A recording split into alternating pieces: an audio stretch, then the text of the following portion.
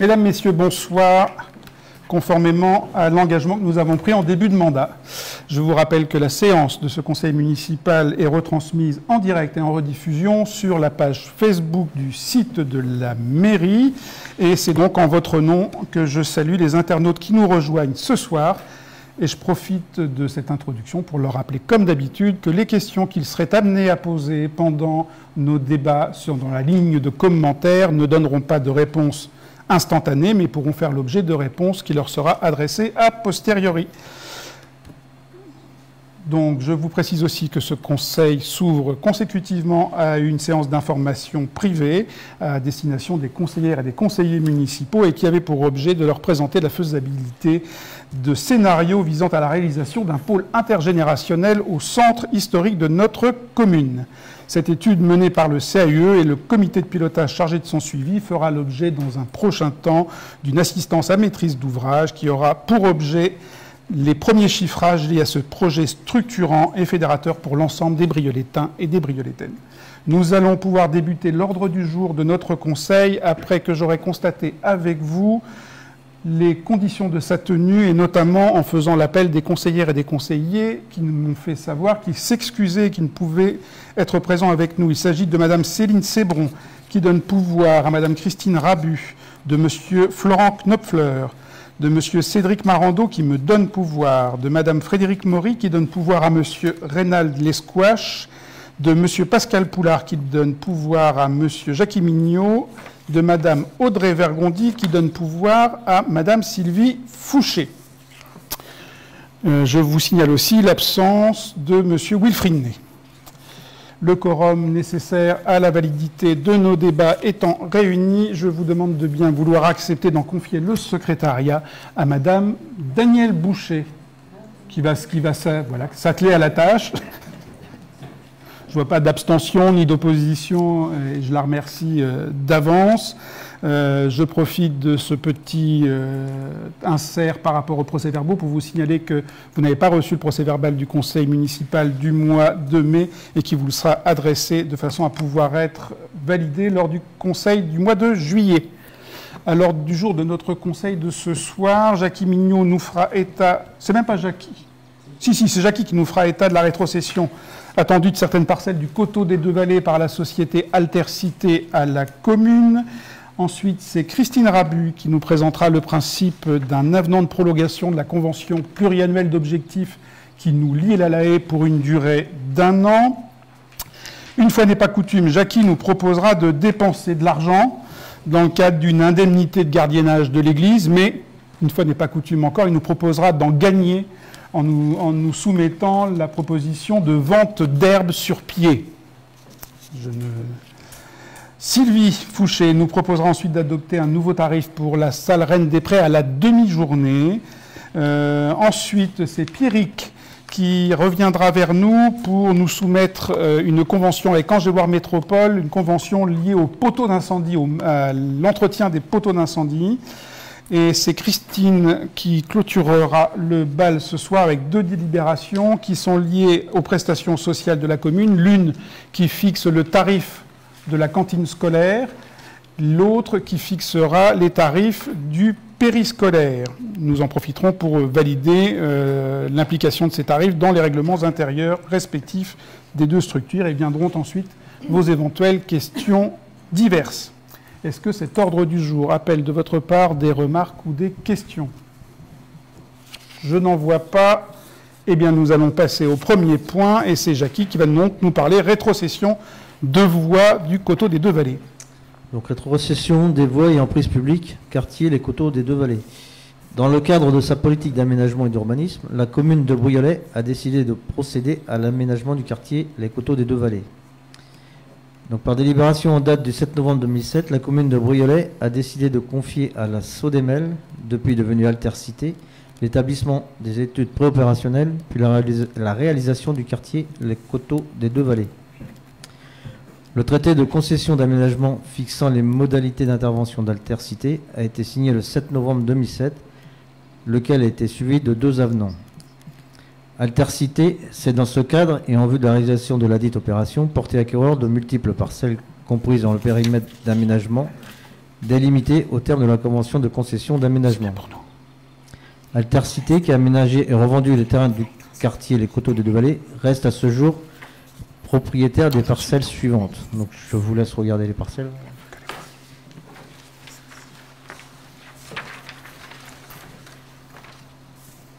Ces parcelles ont fait l'objet de travaux d'aménagement, viabilisation et création d'espaces publics, voiries, réseaux, espaces verts, trottoirs, enfin tout ce qui est aménagement autour des, des différentes parcelles. L'ensemble des travaux ont été réceptionnés et les remises d'ouvrages ont été effectuées. L'article 17.1 de la concession d'aménagement précise ceux des ouvrages réalisés en application du présent traité de concession d'aménagement qui ne sont pas destinés à être cédés aux constructeurs, et notamment les voiries, espaces libres et réseaux constituent des biens de retour qui appartiennent à la collectivité au fur et à mesure de leur réalisation et qui leur reviennent de plein droit dès leur achèvement. L'achèvement est, au sens du présent article, réputé accompli au plus tard pour les voies et espaces libres dès leur ouverture au public et pour les réseaux et superstructures publiques dès leur mise en exploitation. conformément aux dispositions de l'article 17.2, la concession d'aménagement, l'aménageur a l'obligation de faire préparer et présenter à la signature de la collectivité, ou le cas échéant des personnes autres intéressées, un acte authentique réitérant le transfert de propriété des terrains d'assiette des voies, espaces plantés ou non plantés, réseaux divers ou autres équipements. Il convient de procéder à la rétrocession par altercité de l'ensemble des biens subvisés au profit de la commune de Briolet. Le dit transfert de la propriété interviendra comme prévu au prix d'un euro. Donc, nous allons nous prononcer là-dessus. Est-ce qu'il y a des questions par rapport à ça? Juste pour votre information, puisque du coup, on s'était posé la question juste avant le, juste avant le Conseil, et, j'ai la réponse. Vous savez que la compétence voirie incombe depuis le 1er janvier à ALM. Donc, le transfert de propriété de la voirie des réseaux qui est fait entre Altercité et la commune de Briolet donnera lieu à une rétrocession a posteriori à ALM de la voirie et des réseaux. Pas des espaces, mais de la voirie et des réseaux. Donc, euh, nous, resterons euh, bien dans le cadre de la nouvelle, du nouveau transfert de compétences à ALM pour le niveau de la voirie. Est-ce que vous avez des questions par rapport à cette rétrocession de parcelles? Non? Donc, je vous propose d'accepter la rétrocession par altercité. Je vous fais grâce du pédigré d'altercité euh, au profit de la commune de Briolet des parcelles susvisées au prix d'un euro. Je vous demande de désigner maître Courtois, notaire à tiercé, pour procéder à la signature de l'acte authentique qui constatera ce transfert de propriété. Je vous signale que les frais résultant de cette cession seront d'un accord euh, commun avec Alter à la charge de la commune et je vous demande de m'autoriser moi ou mon représentant a signé l'acte authentique et plus généralement toutes les pièces qui seront nécessaires à la réalisation de ce transfert de propriété ainsi qu'à la vente à intervenir au profit de la commune. Y a-t-il des abstentions? Des votes contre? Je n'en vois pas, il en est ainsi décidé. Christine, à toi pour la convention pluriannuelle avec la folle. Alors je vais avant vous faire un rapport d'activité. Ah, faut que tu prennes un micro, sans quoi nos amis euh, vont avoir du mal à t'entendre. Oui, cet après-midi, on a eu le, on a reçu le rapport d'activité de l'année 2021 de l'ALAE, de l'accueil de loisirs associés à l'école de Briolet. Donc euh, la fréquentation moyenne en, en, hiver au mois de février a été de 54 enfants par jour à la Toussaint. Tout ça, c'est en 2021. La Toussaint, il y a eu 63 enfants par jour. Au mois de juillet, on était à 57 enfants par jour et 60 enfants en mini-camp. Et au mois d'août, la dernière semaine d'août, on a eu 52 enfants par jour. Euh, nous avons 5 agents territoriaux et 8 agents euh, de la Fédération des œuvres laïques. Euh, le, projet pédagogique il fait que la, pause méridienne, on leur propose deux animations pour chaque école, maternelle et élémentaire, une activité sportive en extérieur, handball, football, hockey, grands jeux, jeux traditionnels, etc. Et une activité en intérieur, bricolage, dessin, pixel art, petits jeux, motricité, etc. Et le centre de loisirs, donc c'est le mercredi et les vacances. En extérieur des grands jeux, sorties vélo, parcours roller, roller et trottinette, sport collectif. Euh, au mois d'avril cette année, la 2022, ils ont fait une journée pour la fraternité et euh, un stage de trois jours pour les vélos routes. pour leur apprendre les enfants, une vingtaine, à faire du vélo sur la route. Et alors l'équipe d'animation met un point d'honneur à ce que les enfants participent à la vie quotidienne, à la vie cocotte. Un planning de rotation des tâches est mis à chaque début de journée ou de période, rangement, nettoyage après le goûter, etc. En termes de communication, ils font de moins en moins d'éditions de papier et ils privilégient la communication par mail, les inscriptions, les programmes et les informations diverses. Voilà pour le bilan euh, d'activité. Alors, euh, pour rappel, alors la, commune depuis, 2000, euh, depuis le 1er septembre 2018 a donc signé un, un, contrat, une convention pluriannuelle d'objectifs du 1er septembre 2018 au 31 août 2021. Et l'année dernière, on avait euh, fait un avenant pour de prolongation du 1er septembre 2021 au 31 août 2022. Donc, il est proposé un nouvel euh, avenant de prolongation pour une période d'un an avec la Fédération des œuvres laïques, puisque nous comptions refaire un appel euh, d'offres et il y a manqué de temps, je dirais. Donc, euh, donc là, on délibère, monsieur le maire. Est-ce que vous avez des questions par rapport à, cette prolongation euh, auprès de la folle? Steven, je veux bien que tu prennes un micro. Tu as un micro sur ta droite.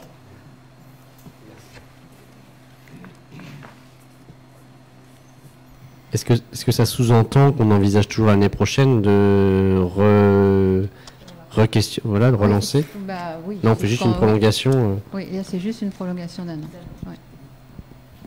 L'idée, c'est de se donner le temps de faire un appel d'offres. Euh, bon, il faut savoir qu'on a été satisfait de leur travail, mais bon, euh, c'est bien aussi de les relancer un petit peu, de refaire un appel d'offres. Et on a une nouveauté donc, qui se fait jour à partir de la rentrée, c'est le club jeune. Donc on voit aussi, ça nous permettra aussi de tester euh, sur l'offre du club jeune, qui était quand même aussi une offre importante de, leur proposition. C'est vrai que cette année, euh, le club jeune n'a pas trop bien fonctionné. Ils ont eu au niveau animateur, il y a eu la, jeune femme qui s'en occupait, avait un congé de maternité, ils ont eu du mal à trouver. Et là, depuis 15 euh, jours, ça fait 15 jours, je crois, oui, il arrive maintenant. Le nouvel animateur, il arrive. Animateur. Il y a un nouvel animateur jeune qui arrive et vraiment dédié pour les jeunes, tout en faisant aussi quand même d'autres euh, surveillances. Hein. Mais il va aller chercher les jeunes. c'est quelqu'un qui va aller à la sortie du bus. Alors voilà, qui va aller essayer de solliciter tous ces jeunes pour qu'on puisse en, récupérer. Pas d'autres questions par rapport à cet avenant à la, CPO Si, si, eh justement, le nouvel appel d'offres, il est à faire euh, pour quand Pour qu'il soit efficient à la rentrée prochaine, c'est ça? Bah, Dès maintenant, je dirais, parce que du coup, on s'est fait, on s'est fait un peu piéger, nous, sur, euh, sur le délai nécessaire euh, à, faire cet appel d'offres-là pour cette année, puisque le, la fait, le fait qu'on prolonge l'année dernière, c'était on arrivait, on voulait être sûr de, nos billes avant de relancer un appel d'offres, et là, on a été bousculé par le temps, et du coup, là, on le met en route euh, dès, dès maintenant, enfin, le, au plus tôt, de façon à pouvoir étudier les offres assez sereinement et prendre une décision bien éclairée. S'il n'y a pas d'autres questions, je vous propose d'approuver le second avenant de prolongation à la Convention pluriannuelle d'objectifs 2018-2021 avec la Fédération des œuvres laïques de Maine-et-Loire pour un an, avec une participation financière prévisionnelle de 52 536 euros et de m'autoriser à signer cet avenant financier à la Convention pour l'année 2022-2023 avec la FOL 49. Je vous précise au passage que cette dépense sera imputée sur l'article 65 748, chapitre 65 de notre comptabilité. Y a-t-il des oppositions? Des abstentions? Je n'en vois pas, je vous remercie. Jackie, tu vas nous expliquer comment on va perdre de l'argent. Comment on va perdre de l'argent? Enfin, Il s'agit du gardiennage de l'Église.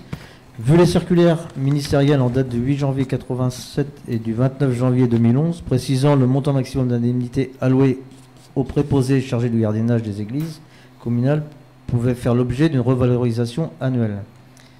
Considérant que le gardien réside dans la commune, considérant que le plafond est de 479,86 euros en 2022 lorsque le gardien réside dans la commune. Alors nous, nous ne donnons pas ce plafond de 479,86 euros au gardiennage de, la mairie. Nous attribuons, de la, mairie de l'église, nous attribuons une indemnité de gardiennage à hauteur de 119,55 euros et nous la versons euh, à l'association diocésaine euh, pour la paroisse Saint-Joseph des Basses-Vallées.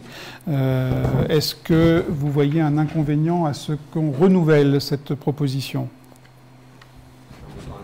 C'est un montant annuel. C'est énorme. C'est pour ça que je disais que Jackie allait nous faire dépenser beaucoup d'argent ce soir. C'est énorme. Pas d'opposition, pas d'abstention. Il en est ainsi décidé. Et pour compenser l'argent qu'il nous fait dépenser, eh ben, Jackie va nous proposer d'en faire rentrer, toujours dans les mêmes proportions énormes. là, il s'agit de vente d'herbe sur pied en 2022. Considérant l'herbe non utilisée par la commune et le besoin en foin des agriculteurs, il est proposé que la commune vende l'herbe sur pied de la parcelle située auprès de Briolet, cadastré ZI 07, d'une superficie de 47 601 m2, le tout pour un montant de 450 euros pour éventuellement répondre à des questions qui pourraient venir. Euh, il s'agit là pour le fait d'un agriculteur qui réside sur Écouflant. Euh, la proposition a bien sûr été faite aux agriculteurs euh, de la commune. Donc on va dire que traditionnellement c'est l'agriculteur d'Écouflant, M. Delalande, qui, bénéficie avec l'accord de ses collègues exploitants briolétains de la fauche de ce prêt de briolet. Euh, du côté de Valère, je crois, en bas, euh, de l'autre côté de la route de Soulaire.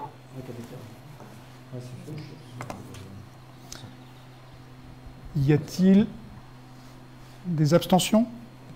Des oppositions? Je vous remercie pour lui. Et donc, vous voyez, 450, 119, on fait encore des économies.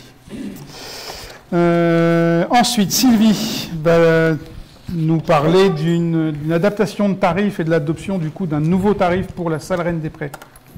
Oui, alors dernièrement, on avait effectivement prévu des locations à la journée pour cette salle-ci. On n'avait pas anticipé le fait qu'on pourrait avoir des demandes à la demi-journée. Donc, on vous propose cette fois-ci de prévoir un coût pour la location de demi-journée de la salle Reine des Prés pour un montant de 50 euros la demi-journée. Avez-vous des questions par rapport à ça? Moi, j'en ai une que Hervé Dina avait déjà posée il y a je pense, deux ou trois mois.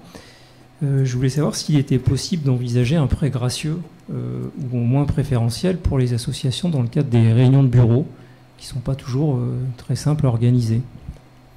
Dans le cadre des réunions de bureau Des, AG, des choses comme ça Oui, pas une AG, de réunion de bureau.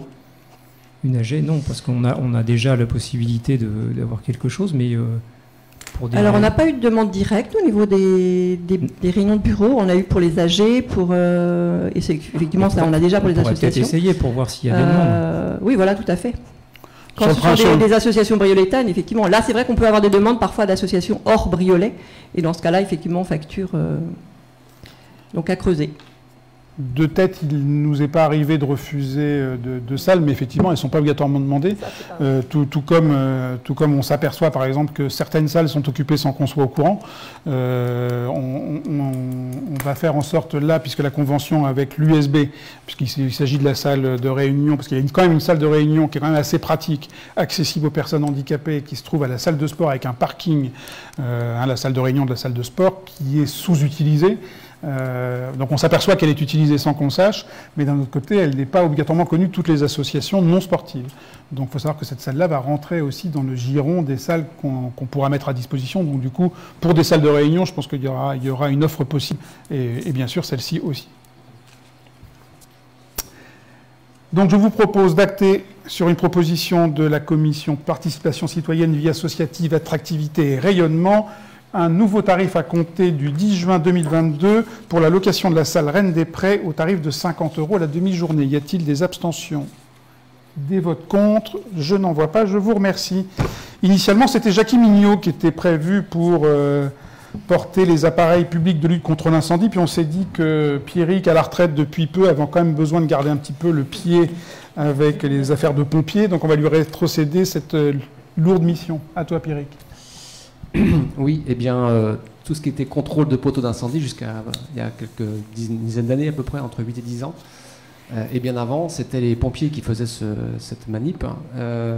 depuis justement cette date de 8-10 ans, le contrôle de poteaux d'incendie est revenu à la responsabilité des communes, hein, qui doivent mettre à disposition des moyens d'incendie, notamment tout ce, qui concerne les poteaux d'incendie principalement, mais pas que. Euh, on a aussi des fois des réserves d'incendie, mais on n'est pas concerné pour brioler en tout cas. Et, euh, donc, euh, pour ce faire, certaines communes ont pris les dispositions de faire eux-mêmes les contrôles de poteaux d'incendie, sauf que sur Angers-Loire Métropole, et c'est une bonne chose pour les 29 communes, ils ont décidé de prendre en main cette, responsabilité. Ça permet d'avoir des matériels uniques et puis d'éviter de, mutualiser au maximum et, de rentabiliser cette, fonction. Euh, et, donc, euh, elle passe une convention avec toutes les communes, des 29 communes de l'aglo. Voilà. Donc, euh, c'est pour ça que là, on renouvelle donc la, convention pour une durée de 6 ans, sachant que les contrôles de poteaux d'incendie, qui concernent les, débits des poteaux et, la pression, c'est une obligation de le faire une fois tous les 3 ans. Et, bien entendu, de mettre à disposition des sapeurs-pompiers bah, le contrôle et le résultat pour qu'ils puissent connaître les débits des poteaux lorsqu'ils vont sur des incendies. Voilà. Donc il y a un partenariat qui se fait avec ALM à ce sujet.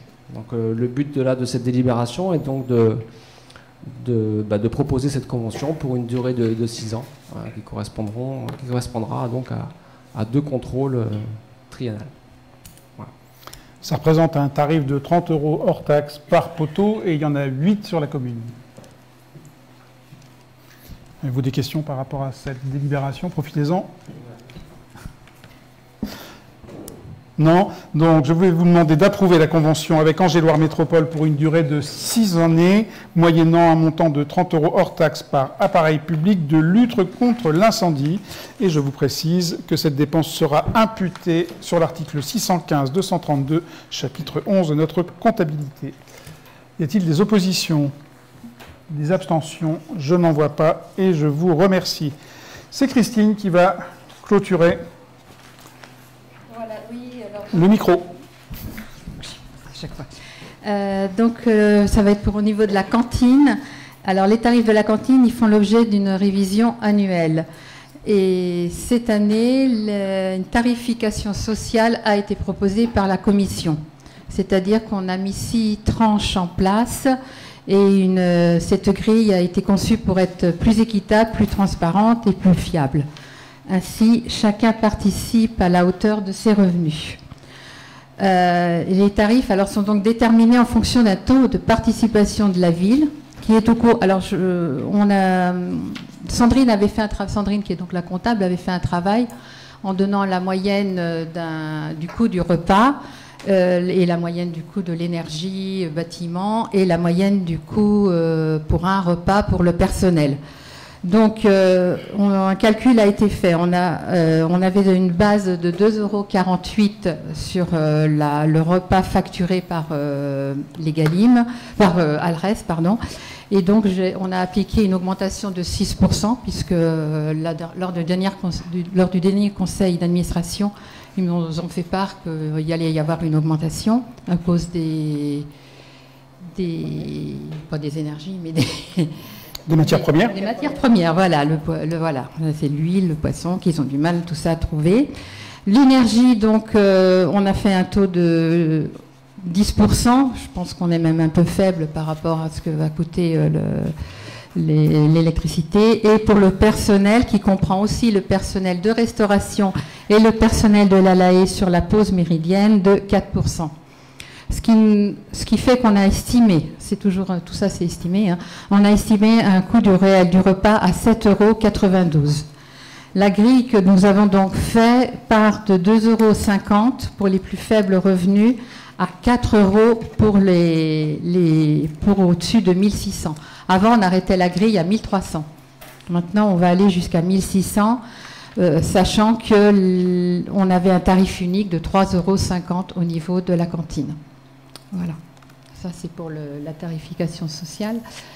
Euh, on avait d'autres tarifs, donc euh, on, a fait une, euh, on a fait une augmentation de 4,5 pour le panier repas qui concerne les PAI, c'est-à-dire les enfants qui sont en projet d'accueil individualisé, c'est-à-dire que les familles fournissent le repas. Donc là, il reste juste à la surveillance des, des agents de la cantine. Donc là, on a, ça fait une augmentation de 10 centimes et le repas adulte qu'on a passé de 4,75 à 4,95 et une surfacturation qu'on n'a pas bougé qui reste à 5 euros. Voilà. Et puis alors, le, excusez-moi, le règlement intérieur. Euh, avant, les, pour les, réservations occasionnelles, les parents pouvaient euh, appeler 24 heures avant. Et pour une question d'organisation au niveau d'Alrest, euh, qui nous demandait d'avancer de, 48 heures à cause du pour anti-gaspi, comme on est dans la campagne anti-gaspi, et par rapport à leur nouvelle cuisine centrale. Voilà. Ça, c'est la modification dans le règlement intérieur. Avez-vous des questions par rapport euh, à cette tarification? Juste une, mais euh, c'est un petit détail. Mais pourquoi on met deux tableaux communes et hors commune? Alors que c'est les mêmes choses Oui, c'est les mêmes. Parce qu'on avait. Voilà. Oui, c'est un même tableau. Parce qu'au départ, on cherchait un tarif hors commune. On n'en a pas trouvé, on les a laissés communes. Voilà. Donc, avez-vous des questions par rapport à ça? Sur la mise en place de la tarification sociale, par exemple? Euh, il, existe un, donc, il existe un dispositif au niveau de l'État qui permettait, euh, dès lors qu'on mettait en place une tarification sociale, de récupérer la différence entre les prix de repas inférieurs à 3 euros, je crois, euh, et les 3 euros. Alors il se trouve que chez nous, en ayant choisi de mettre le tarif le plus bas à 2,50 euros, la différence qui pourrait être remboursée par l'État serait grosso modo de 50 centimes par repas, et ça ne concerne, au regard de nos projections, que deux enfants euh, en moyenne euh, par, jour. Ça veut dire qu'on récupérait 1 euro par jour euh, sur les jours scolaires et qu'il faut pour ça faire une demande de subvention en 50 000 exemplaires. donc nous avons abandonné l'idée de recourir, de recouvrer cette, subvention, d'autant plus qu'elle ne sera pas pérenne dans le temps, donc c'est juste pour un, un temps donné, pour faciliter la mise en place de cette tarification sociale. Euh, moi, je trouve que c'est un grand pas de fait, parce que je trouve que c'est juste que chacun paye euh, au niveau de ses moyens euh, le service public qu'est le service de cantine. Et je tiens aussi tout de même à vous préciser que à ce jour, vous rappelez tout du moins que le repas coûte 2,45 euros. le repas coûte 2,45 euros euh, et, euh, et que les prestations qui sont avec coûtent au global 7,98 euros, c'est ça? Oui. Hein, grosso modo 7,92 euros. Euh, la part du service, c'est-à-dire la garderie des enfants, le bâtiment et le service des enfants, représente donc le double du prix du repas. Et donc à ce jour, les parents qui, quelle que soit la tranche, payent une partie du service pas jamais le repas, une partie du service. C'est bien là un service public de l'alimentation scolaire. Je ne sais pas si le fait d'avoir mis en place une tarification sociale permettra à des enfants qui, à ce jour, à 3,50 euros, ne venaient pas manger. Je le souhaite, parce que si c'était une barrière, j'aurais souhaité, moi, que la Commission aille plus loin, peut-être en, proposant un repas à 1 euro, euh, quitte à Euh, mais du coup, il y a une question d'équilibre. Hein. L'enjeu était que dans les volumes constatés Aujourd'hui, on n'est pas d'écart de prise en charge de la commune, puisque la commune, à ce jour, prend à peu près 56% à sa charge. Hein, le service public prend 56% à sa charge de la restauration scolaire et de son, environnement. Euh, il n'était pas question d'augmenter cette, euh, part, cette prise en charge. Donc il fallait que les équilibres soient faits ainsi. J'aurais souhaité qu'on puisse faire une tarification à 1 euro pour justement permettre peut-être à ceux qui n'ont pas encore 2,50 euros à y mettre de, pouvoir venir manger, quitte à augmenter un tout petit peu euh, la tarification à 4, euros, à 4 euros, ce qui est toujours en dessous du prix du personnel euh, afférent à la restauration scolaire. Voilà, je tenais à, vous dire ça parce que je trouve que c'est un message fort de l'avoir fait. Euh, c'est bien que la commission s'y soit, soit, attelée. Moi, je, suis, euh, et j'espère sincèrement que ça permettra à des familles de passer euh, le, cap difficile quelquefois de l'alimentation de ses enfants plus facilement. Reynald, je veux bien que tu prennes un micro juste encore une fois.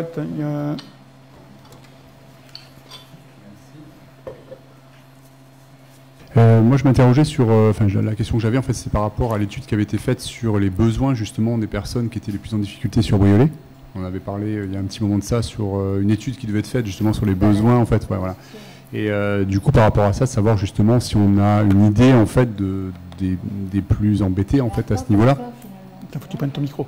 Parce que c'est ça qui est, intéressant finalement. c'est euh, vrai que, l'analyse des besoins sociaux n'a pas fait ressortir tant que ça des difficultés. Euh, parce que je rejoins Arnaud sur le principe, en fait, effectivement, si effectivement il y a des enfants qui ne mangent pas le midi, euh, c'est quand même gênant. Et, si effectivement on pouvait améliorer au moins pour cela la possibilité qu'ils aient un vrai repas par jour. Pas, ça n'a pas ressorti. D'accord. Donc ça veut dire que pour l'instant, il n'en ressort pas sur Briolet. Non. Bon, très bien. Ah, pardon. Et du coup, dans la continuation, par, continuité pardon, euh, de ce que dit Reynald, euh, et en accord avec toi, Arnaud, évidemment, euh, essayer d'aller plus loin dans ce service. Est-ce que le CCAS pourrait pas justement continuer par essayer de suivre ces familles eh ben, De toute façon, le CCAS est là pour ça, mais tout ce quand, quand j'envoie des relances d'impayés, puisque quand Sandrine me montre tous les courriers qu'elle envoie aux familles, dans les relances impayées, on met bien qu'ils peuvent nous joindre, nous contacter, il n'y a rien. Une personne ne nous contacte et les factures sont payées. Ah oui, moi je. Alors on a une petite inconnue sur les projections qu'on a faites tout de même, parce que Sandrine a fait des projections euh, assez pointues, parce qu'il y, a les périodes de vacances, il y a la LAE aussi qui rentre dedans, tous les repas sont pris en compte, il n'y a pas que les repas de la période de l'école, donc c'est toujours un petit peu... C'est vraiment un des calculs d'apothicaire, notamment quand on y fait rentrer des tranches que jusqu'à maintenant on ne faisait pas rentrer. Il faut savoir que tous les parents ne déclarent pas les tranches euh, de leur quotient familial. Ils ne le déclaraient pas parce que de toute façon, ça ne changeait rien. C'est-à-dire que la prise en charge était la même. Le, repas était à 3,50 euros. Ce qui fait que j'ai dans les tableaux 76 repas. Hein, sur les 300 repas, j'ai 76 repas qui sont au-dessus des 1600 de quotient familial. Il n'est pas impossible qu'en ayant mis en place cette tarification sociale, on voit éventuellement surgir des déclarations de, de quotients familiaux qui feraient passer des gens dans des catégories inférieures. Tant mieux, encore une fois, sur le principe, puisque euh, ça, bénéficiera à ceux qui en ont plus besoin. Sauf que c'est pour vous dire aussi que si vous allez vraiment gratter les petits chiffres, quand je disais qu'on était exactement au même taux, on a une toute petite marge euh, sur, euh, sur la prise en charge de, la commune, sur le taux de prise en charge de la commune, légèrement inférieur à celle de 2021, de façon à justement encaisser ce, ripage qui, va certainement être, se faire jour. Quand je dis toute petite, c'est toute petite. Rénal sur, euh, sur ces familles finalement qui, sur lesquelles on sait qu'on a beaucoup de relances apparemment euh, pour faire régler en fait les factures des cantines. Il n'y a pas beaucoup de relances, il y a une simple lettre. D'accord, mais je veux dire, on sait en fait qu'il y a des familles sur lesquelles il faut quand même relancer pour. Mais euh, il y a même des familles qui, on ne peut pas dire, c'est vraiment de, des courriers de type qu'on fait, de, familles. Je ne peux pas dire qu'il y a toujours les mêmes familles qui ressortent. Hein. D'accord, ok, c'est pas forcément. Il semble des fois que c'est des oublis de les gens oubliés de payer. Oui, c'est vraiment ceux qui ne sont pas prélevés, je dirais. parce que l'idée en fait de fond, c'est de se dire qu'on est comme dans un village et si qu'on arrive à cibler en fait les personnes qui sont vraiment, euh, vraiment dans l'embarras, je, vais le dire comme ça, on peut peut-être aller les rencontrer et peut-être bah, les, aider directement. Parce qu'il y a des gens qui la, qui vont pas faire la, la, démarche en fait, qui vont se débrouiller comme ils peuvent, mais c'est pas euh, évident non plus. Non, mais c'est pas reproche, hein, c'est juste. Je me dis, est-ce qu'on peut peut-être des fois humainement aller jusqu'à ces personnes-là et possibilité de paiement échelonné. Mais c'est vraiment, euh, je suis la première surprise. Oui, bien sûr. Parce que moi, je m'attendais, et surtout notamment quand ça a été au moment du Covid s'est dit avec cette baisse de revenus pour certains qui mhm. n'ont pas travaillé, ça va être. Et non, voilà, on a été les premiers surpris. D'accord, mais bon, après, tant mieux, si tout le monde peut, peut régler la, note, moi, je, moi je suis pour. ça, surprend toujours, le, budget du CSAS surprend toujours quand on le vote nous, puisqu'on le vote toujours euh, à l'équilibre, c'est-à-dire qu'on fait, on met une somme de 5000 au CSAS, et puis on se dit toujours qu'on en rajoutera s'il y a besoin, il n'y a pas de problème, on en rajoute rarement, voire même jamais. Bah, tant mieux. Euh, tant, mieux quelque part, mais euh, c'est, voilà, ça relève de la même, chose. je, je comprends ton, ton, ton, attention, et ça relève du même esprit que le fait de se dire que j'aurais préféré aussi qu'on mette des repas à 1 euro, parce que peut-être que ça en aurait incité certains à venir manger, et peut-être que ceux-là, on se sera aperçu qu'on pouvait peut-être les faire manger même gratuitement. Enfin, euh, mm. voilà, mais, euh, Moi, l'idée, l'idée, c'est vraiment effectivement qu'il n'y ait pas des enfants, parce qu'effectivement, il y a des familles euh, avec des enfants qui sont vraiment très très serrés, plus que serrés et les enfants ne mangent pas le midi et du coup bah, on ne le dit pas parce que bah, on a honte de le dire comme c'est comme les personnes qui vont euh, euh, au resto, du, cœur, ou autre et qui vont pas vouloir le dire et je le comprends tout à fait parce que c'est très inconfortable de pouvoir euh, donner ces situations. je pense que Bernard peut le dire, même tu vas au resto du cœur, il n'y a pas beaucoup de familles de briolets. Hein. Non, il y a très peu de familles. Non, mais tant, après, je dire, tant mieux. Mais euh, l'idée de base, c'était de se dire, voilà, on est dans notre commune, c'est un village, on aide tout le monde, et si on peut aller vraiment aider ces gens-là, même, je dirais, dans la discrétion. Euh, c'est important qu'ils sachent qu'on soit là et, qu'on, et que leurs enfants et eux peuvent être aidés sans, sans que ça soit étalé sur la place publique. On est tout à fait d'accord. Est-ce qu'il y a, pardon, Une dernière, donc toujours euh, dans, cette même démarche, euh, euh, vous allez informer les familles, bien sûr, de, cette augmentation, bien sûr. Et est-ce que à joindre à cette information, alors d'augmentation, pardon, je m'exprime mal, hein, de cette nouvelle répartition de prix, est-ce que du coup, dans cette information, on peut mettre justement que suite à d'éventuelles augmentations sur certaines catégories de familles, on peut, voilà, vous pouvez prendre contact avec le CCAS au cas où. En cas de difficulté, bien sûr. Ça, on peut le mettre. Non, non, mais c'est. On va même le mettre, ça me semble même judicieux de le mettre. Est-ce que c'est possible Ça me semble judicieux de le mettre. Pas d'autres questions ou remarques par rapport à cette délibération? Je vais vous donc vous proposer, euh, si vous en êtes d'accord, de valider le principe de mise en place de la tarification telle qu'elle vous a été présentée tout à l'heure, d'approuver la grille tarifaire 2022-2023 qui ne fait pas de différence entre les hors communes et les gens de la commune, et d'adopter le règlement intérieur de la cantine scolaire 2022-2023, tout du moins les attendums qui ont été portés. Y a-t-il des abstentions? Des votes contre? Je n'en vois pas. Merci pour eux. Euh, Christine, toujours, cette fois-ci, maintenant le périscolaire. Oui, alors pour le périscolaire, euh, en fonction, comme on a fait cette tarification euh, sociale et qu'on trouvait quand même que ça faisait, pour certains, ça allait quand même faire une, hausse de tarifs, il a été décidé seulement 1% d'augmentation. Alors je vous fais grâce de la lecture des, de l'augmentation, hein, ça tourne à quelques centimes. Voilà. Et on vous demande aussi le règlement intérieur qui est pareil au niveau de la ah oui, c'est au niveau du pointage de, je ne sais pas si vous l'avez vu, au niveau du pointage de, des enfants. Quand l'école se termine à 16h15, il faut savoir que les, enseignants sont là jusqu'à 16h25. Et donc, au niveau de la garderie, il s'est pris en compte qu'à partir de 16h25, ils sont pointés à partir de 16h26, de façon à ce que ça fasse une demi-heure. Voilà. On laisse un battement de 10 minutes aux, aux parents de venir chercher leur enfant, le temps qu'ils arrivent à l'école. Avez-vous des questions par rapport à cette augmentation de tarifs, somme toute, raisonnée? Pas de questions. Je vais donc vous proposer d'approuver la grille tarifaire 2022-2023 telle qu'elle vous a été présentée et d'adopter le règlement intérieur de la cantine scolaire dans le cadre de l'ALAE. Y a-t-il des abstentions? Des votes contre? Je n'en vois pas et je vous remercie. Nous avons clos l'ordre du jour de notre conseil municipal. Je n'ai pas reçu de questions diverses écrites au préalable. Avez-vous des questions que vous souhaiteriez éventuellement que nous abordions ce soir? Je n'en vois pas. Je vous rappelle donc que ce dimanche se tiendra le premier tour des élections législatives, que vous avez euh, peut-être eu communication des créneaux qui vous sont réservés. On a toujours un petit souci de créneau euh, dimanche, euh, ce dimanche entre 13h et 15h45. Si jamais vous avez envie de faire un tour supplémentaire, ce sera bienvenu. le second tour aura lieu la semaine qui suit, soit le 19, et je précise à nos auditeurs que s'abstenir ne rend pas le monde meilleur. Euh, j'en profite aussi pour vous présenter, pour vous présenter, pour vous dire qu'autour de la table se trouvait aujourd'hui Clara Galichet, qui est élève de seconde à Saint-Aubin-de-la-Salle et qui est en immersion cette semaine et qui vous a très harmonieusement posé les petits chevalets devant vous et participé à la réalisation du PowerPoint et qui nous suit depuis mardi. Voilà. J'espère que ça s'est bien passé pour toi. Ça s'est très bien passé. Tant mieux.